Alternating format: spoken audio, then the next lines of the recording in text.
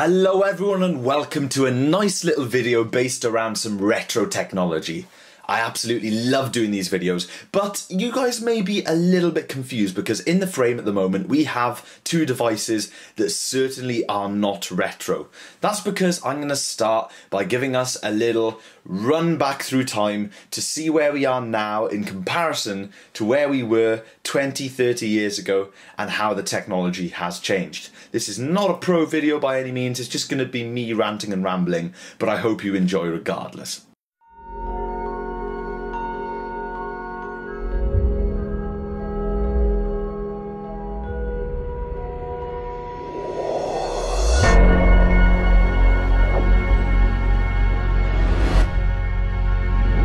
In front of us here we have, first of all, a tablet. Now, a tablet it's a fairly new piece of technology. iPad came out in 2009, I believe, and since then they've just kind of exploded within the last five years. There are absolutely tons on the market, and pretty much everyone has used a tablet or at least seen one, and loads and loads of people own them. Now, they're a fantastic way to consume media on the go. They've got good battery lives, high quality displays, high quality audio output, especially when using headphones, and they're just extremely convenient.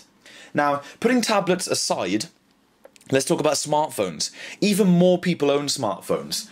Often, they're even better and more portable because they just fit in your pocket. I can carry this guy around in my pocket, can't with this guy. I have to have a bag or, you know, dedicate my hand to carrying it around all day. But this guy, it can do pretty much all the things that this guy can, just on a slightly smaller scale. But it still has an extremely high quality display, extremely high quality audio, and I can consume a load of media on it. So whether that's media that I have stored on here myself, from my personal music library, my personal film library, or TV show library, I can also stream any content that I want, whether that's through Spotify, which is a music streaming service, or Netflix, or LoveFilm, or whatever I choose to use to stream videos. And I can literally choose from thousands of songs, thousands of albums, thousands of TV shows, and thousands of films to watch pretty much anywhere where I have a signal. And even if I don't have a signal, I can watch the stuff that I've already loaded onto the devices. So, in my eyes, we're definitely in a place at the moment where we can consume media wherever we want. Long train journey, doesn't matter. Load a film up on here, or, you know, rent a film from iTunes or whatever, even though neither of these are Apple devices, come to think of it. But yeah, you can pretty much get through a long train journey, plane journey, bus journey, or anything like that, or you know, a thing that you've got to wait for, waiting for a meeting or whatever, you can just listen to music. It's just convenient. Now, these are both very new devices. Let's talk a little bit older. Let's go back about a decade. What dominated before smartphones existed properly and before tablets existed properly, when they were just little rubbish ideas that were floating around and nobody could pull them off? Well, this guy existed. This is the Apple iPod. Now, the iPod still has, you know, a market share today. It's still, you know, being sold, but it's really, really you know, doing this. It's kind of dive bombing because these can do everything that this can and so much more. Now, this is an example of the first ever iPod that could play video. This is actually called the iPod Video. Um, it's a 60 gigabyte unit. Oh, actually, no, I've got the 80 gigabytes. It can hold 80 gigabytes of information, which is quite a lot of music and video for 10 years ago. Yeah, it wasn't the cheapest device on the market, but hey, still had a high quality display, granted a little smaller than what we're used to these days, but a high quality display, high quality, very high quality DAC for audio output, especially through headphones. Well, only through headphones, no internal speaker in these guys. And of course, it was easily accessible and a lot of people used it. It caught on. Fantastic technology. Now, all of this is easy technology. Now, granted, with this, you can't stream services like you can with these. It doesn't have apps. You have to own all the content you put on there. You have to manually put it on there using iTunes through the computer or whatever. But it's still digital. It's still tiny. It still fits in your pocket. It's convenient. It has brilliant battery life it's rechargeable. You don't have to put batteries in it. You know, even little things like that we take for granted these days. Now, let's move all of these devices over and talk about a little something that uh, is fairly, fairly different, but actually not that old. If we think about the 10 year gap between the iPod and the tablet, or whatever, Think about the 10 year gap between the iPod and the only option available beforehand. Enter this beast. The example I have right here is the Goodmans Quadro 900, which is a portable entertainment system like no other. Now, you can imagine when these kind of things came out, not just the Goodmans unit, because, you know, loads and loads and loads of manufacturers and models were released. This just happens to be the one that my dad has lying around, and uh, I uh, he let me do a YouTube video on it. But just imagine when these came out, or this kind of technology, look how small it is TVs of the time were massive. You know, everything was huge. Radios were getting nice and small. Yeah, you could get small cassette players. But check this out this is a TV, radio, and, uh, and cassette player in one.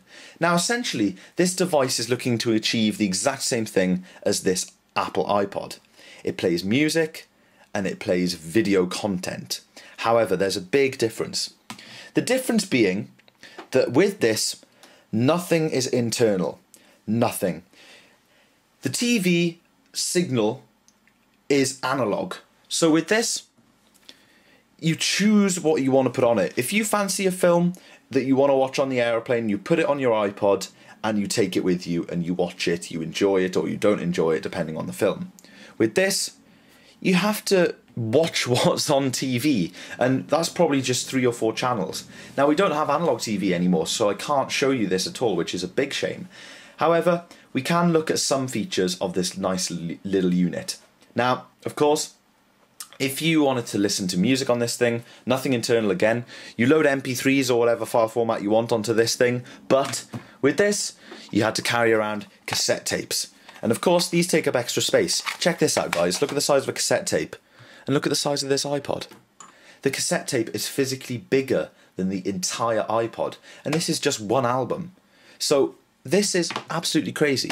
We take, we take technology for granted, but I just want to I just really wanted to show this because it just demonstrates how much we've come on. Taking a closer look at the unit then you can see we have an on and off switch. We have our selector switch for the function so that can either be radio, cassette or TV. Coming over we have the selector switch for the radio. It does both AM and FM radio which you can still use of course. DAB hasn't quite taken off the same way as uh, digital TV. And then we have the volume slider because this thing does have built-in speakers of course. Coming up we have the tuner section. These two dials tune in both the radio and the television independently and then above that we have a cassette deck which is definitely an interestingly styled cassette deck. It's just like a car cassette deck. It uh, only does fast forward and the tapes slide in from the front and then stick out slightly. Of course, the main feature that you see on this kind of unit is the screen. And yeah, we are talking something fairly tiny here. Let's take a look at my HTC. My HTC has a bigger screen. Okay, so we're talking possibly, I'd say about a, if my HTC is, what, what is this phone? 5 inches, 4.7 inches? I'd say this is probably about a 3.8 to 4 inch display, something like that. And uh, of course, it's a CRT display, very small one, and that makes the unit very deep. Now, as you guys can see, I actually have a power cable coming from this unit. You can plug it into mains power, but of course it's portable. So let's take a look at how it's portable. Now the first portable consumer electronics were made portable by one aspect. It didn't matter about battery life, it didn't matter about size, it didn't matter about performance. As long as it had a handle, you could advertise it as portable. This thing is huge. It doesn't fit in most backpacks, of course. You'd have to carry it around like so. And it's a CRT TV. It's got one hell of a weight to it. If I pick it up like so, it puts strain on my arm. But anyway, there are a few other things that make it portable. We have a collapsible extendable antenna here, of course, so it does not need to be wired in to a coax connection to get its signal. You, it's got a built-in antenna for the TV and I assume also it's used for the radio as well. As mentioned, I've got this little beast hooked up via hard power, but of course it wouldn't be portable without its battery because we are comparing it to the Apple iPod. So, that's not to worry. Just put in 12 massive round batteries. Can't remember what those batteries are called. But uh, there's a nice little diagram on the cover just showing you which direction all 12 batteries have to go in. And I believe it's 12. 1, 2, 3, 4, 5, 6, 7, 8, 9. Actually, sorry, no, guys, it could be 9. So, yeah, not as bad as I originally thought. Sliding that back down, because we don't have any batteries in the unit. The one last thing that makes it truly portable is the independence that you have from everyone else. The anti-social aspect of portable technology that we face today, which is a problem that a lot of the older generation worry about. But uh, on this little unit, it is present also, and that is the uh, headphone jack. So you can uh, stick in your headphones. Fantastic. Let's take a little look at this beast in operation. So we've all seen portable radios and we've all seen Walkmans, cassette Walkmans. I mean, they're both pretty much a thing of the past now, but of course, the still the most remaining exciting thing on this unit, unfortunately, we we cannot use. Uh, let's turn it on and go over to TV. And as you will see any second now, there we go. There's the television display, all lit up. And if we tune it, we get nothing. We get a bit of noise, but analog television has been switched off. And it has been for a few years now, which is a shame. So we just get interference from other things, but we get no TV channels. It's not broadcast anymore. And that's a massive shame. It's pretty much it, I find it a huge shame because there was nothing wrong with analog TV. But this is the way it is, and all we get is this snow. So I believe this is a black and white tube in here. I'm pretty pretty much 100% sure. Um, but yeah, that's the TV portion. So, other than TV, of course, we have radio, which still works fantastically. Uh, the team are away at Kevin Druitt's uh, kick-off on... Don't expect...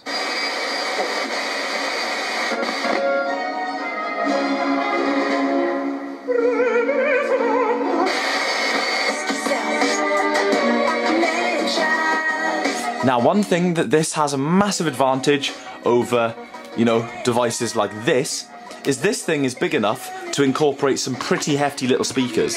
We have one on this side, which looks to be about a three inch driver, which is massively significant in a portable piece of tech, and the same on that side. So two hefty speakers, and there really is a decent bit of noise to this little system. Now the radio tunes fantastically. I don't even have the aerial extended up, and check it out. That's pretty much crystal clear FM radio.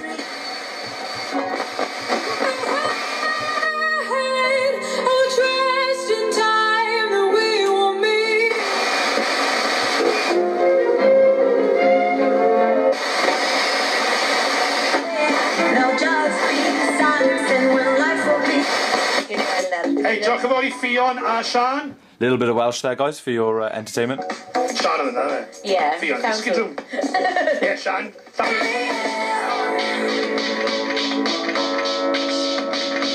And of course, AM as well. Does have AM. AM's very weak around here.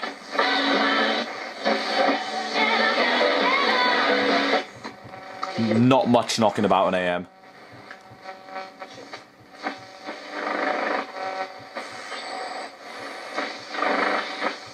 Yeah, not much on there, but it still works. Now, of course, finally we have the cassette uh, part of this, which, like I said, is pretty much just like a uh, a car cassette player. So you get your favourite Led Zepp tape and you stick it in, and uh, once you've stuck it in, this is what happens.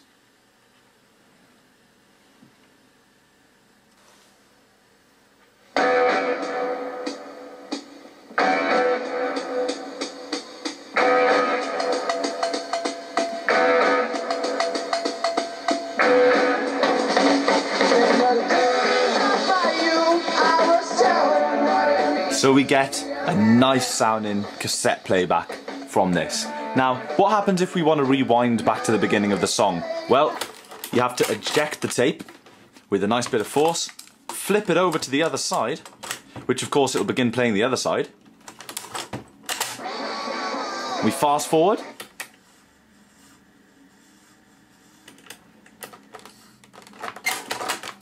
Should be enough. Nah, out of practice, guys.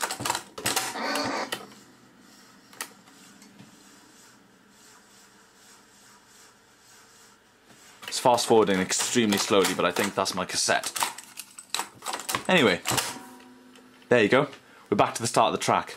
Fast forward a bit. There we go.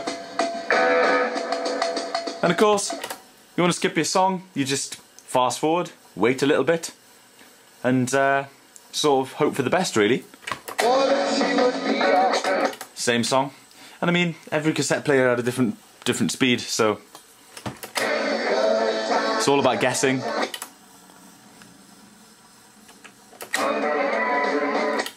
Still the same track.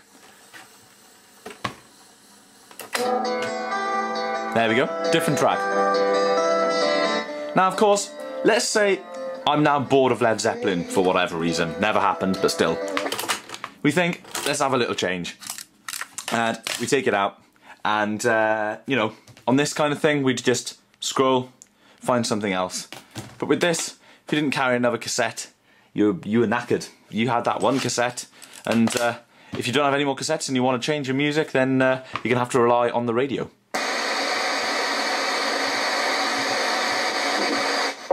If you take the whole carcass and put it into a... So guys, I was eager to show another bit of retro tech on my channel. They're not my most popular videos by any means, but I love showing the odd bit of retro tech here and there. I've got more things on the way. I try and space them out, maybe a maximum of one retro tech video um, once every two weeks or something like that. But I got a you know a lot of these kind of things that I can make videos about. This was a nice little example because I thought it really ties in well with um, you know a lot of you tech out there that just you know are glued to these kind of devices. And you know a matter of even 20 years ago, 20 to 30 years ago, which isn't that much time really because I'm 20 years old this is what we had. Look at it. And it's a great piece of kit, but by no means is this convenient, you know? It's a, it's a lovely unit, it's great quality, but look at it. It's just, by today's standards, nowhere near. But anyway, this is why it's fun looking at the retro stuff because it's so interesting to see how far we've come. And I mean, a big staple in seeing the uh, the popularity of internet TV and digital TV and stuff like that is the fact that they've actually turned off the analog television signal that's been going since what the 30s, the 20s, the 30s. You know, uh, slightly different. You know, I mean that was 405 line back then or 403 or whatever it was. But uh, yeah, it's just it's just very interesting to me, and I love this kind of thing. So of course this was an interesting little video. Hope you guys enjoyed. Um, please give me a feedback down in the comment section. Give me a thumbs up if you enjoyed this retro piece of tech. And of course, head down into the video description like always. Like I said, I don't do a lot of these videos, but it's still worth interacting with me on the various social networks, which is something that you also cannot do on this. No internet, no internet browsing, no social networking, can't post to Instagram from this. You can just watch three or four channels, or you could have done five years ago. Uh, play your cassettes as long as you remember to take them, and of course, uh, listen to your radio. One thing worth noting is there's no record functionality functionality on this. It's just a playback cassette deck. So if you want to record your own cassettes from the radio, then you have to do that on a separate unit. Anyway, before I ramble on any longer, because I can talk about this kind of stuff for a very long time, I hope you guys have enjoyed, and I will catch you in tomorrow's video.